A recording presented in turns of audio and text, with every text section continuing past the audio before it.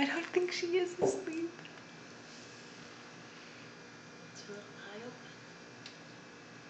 Yep.